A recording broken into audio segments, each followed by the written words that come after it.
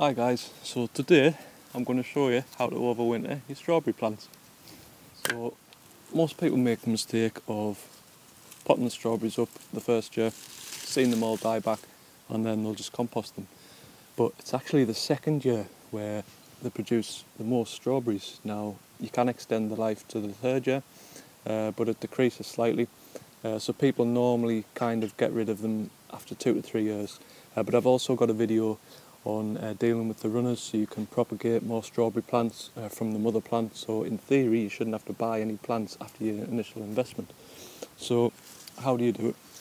So with a sharp pair of scissors or secateurs um, you've basically got all this foliage and right at the very centre at the bottom you've got the crown and it's that crown you need to protect so with your secateurs or scissors you're just going to cut all this foliage back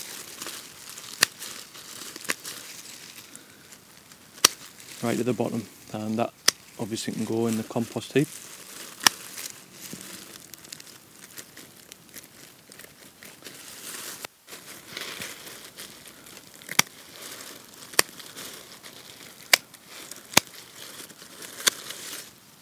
get rid of that.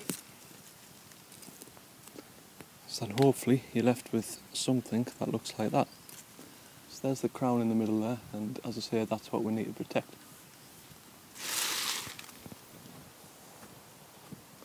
So you've got a couple of options now.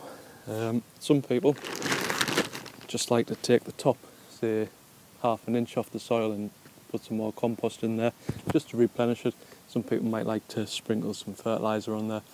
Um, I'll do this in the spring, so basically what I'll do now is just put a thick layer of straw and that gives it the protection it needs from the frost. It'll stay in the greenhouse as well, uh, so at the end of it you want to pop them in a shed or a greenhouse uh, because these crowns will go dormant, so they'll basically go into hibernation for the winter.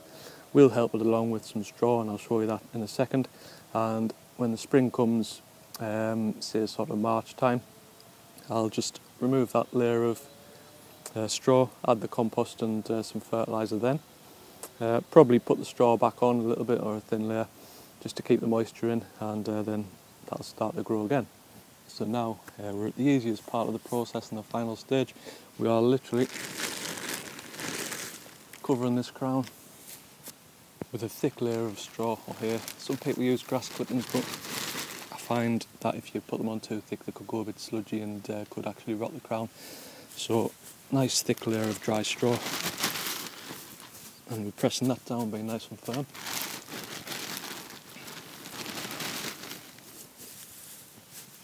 There we are, I'll keep it nice and warm and that's it, so nice and easy. I'm going to do the rest of them now and uh, this will go in the greenhouse over winter. Uh, if you've enjoyed this video, uh, give it a thumbs up and uh, don't forget to subscribe to the channel and uh, hopefully I'll see you in the next one. Cheers guys, bye.